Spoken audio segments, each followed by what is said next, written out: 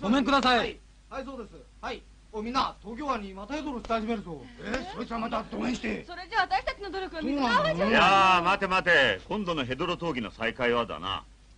捨てる場所は決まっとるんだ。よ我々の意見通り公安局で江東区の重号埋め立て先に鉄板の柵を作りそこに捨てるようになったんだ。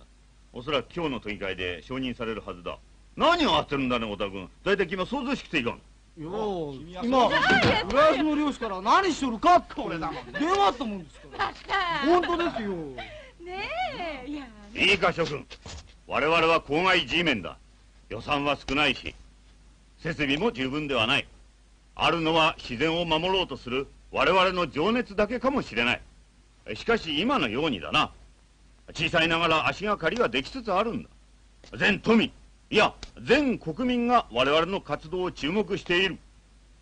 公害をこの世からなくすためにはだな。一つ一つ実績を積み重ねていくんだ。敵は手強いぞ。そう思うかね太田君。思います。うん。ボス僕もそう思います。え？あの誰だ君は？蒲生ジョージです。どうかよろしく。よよろしくって君なななんだ君は？